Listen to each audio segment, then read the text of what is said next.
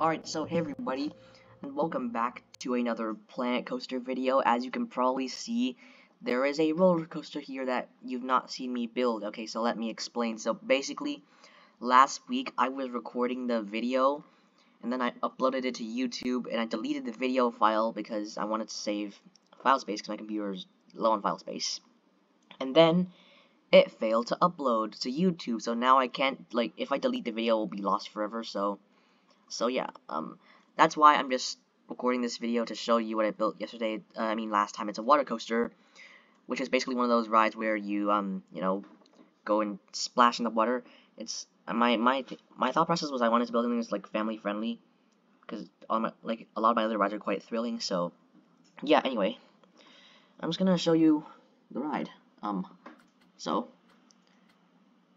let's just uh so I'll just show you the results. Let's get on the ride and stuff. So basically, oh, hang on, I'm gonna, show you the layout first. So basically, it goes like this. There's a lift hill, then a double down curving drop, which goes like this. Then there's a drop, and then there's a camelback, which gives some good airtime.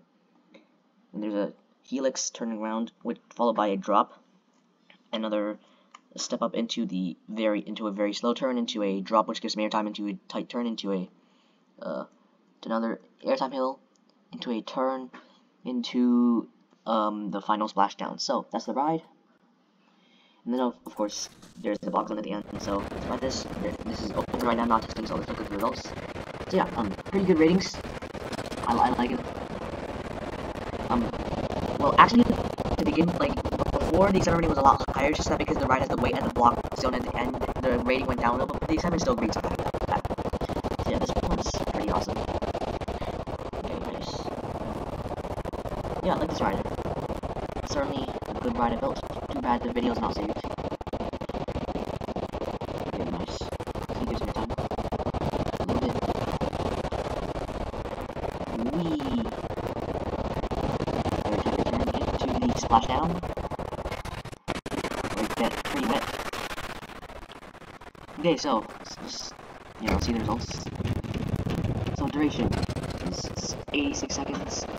It's 430 meters of track length. Um, so, and then there's also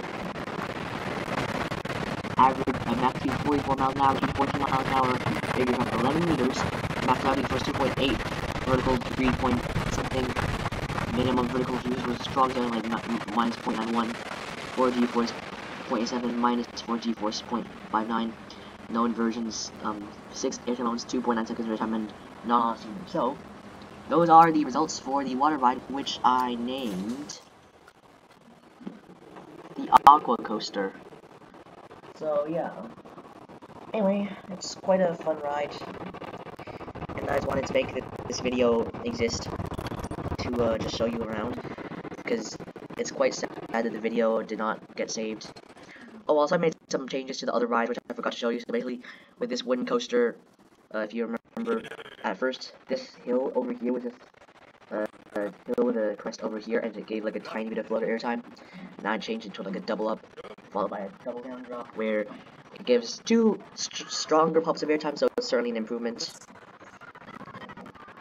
Uh, so yeah, um, overall, that's that's that's all I have to show you, and yeah, hopefully YouTube does not fail to upload my videos again. And yeah, thanks for watching, and I'll see you in the next one. Bye.